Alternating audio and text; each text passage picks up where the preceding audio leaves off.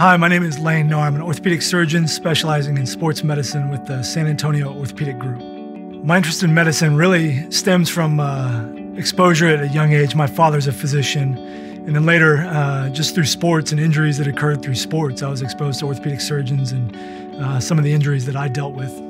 My first exposure to orthopedics was with injuries, playing football and breaking bones and soccer. Uh, and then, really, once I was in med school, I loved the surgical specialties, but wasn't interested in general um, and other things. And really, I thought the orthopedic surgeons were, were fun to be around, and the surgeons were pretty, uh, pretty exciting to see the, uh, the different equipment and the technology Really, what I try and uh, do for patients that come to my office is really make sure that they're heard, and that I try and understand really exactly what the, what, what's bothering them, uh, whether the way it affects their life or their activities, and really try and listen and, and, and, get to the root of, of what I can do to help get them back. As a sports medicine surgeon, my specialty interests are uh, with injuries related to sports, especially the hip, shoulder, and knee um, injuries that occur while being active, both uh, as an in season athlete or just a recreational athlete. If you are hurt, injured, or if something's uh, still concerning you with regards to really anything but shoulders, hips, and knees, I would love to, to see you in clinic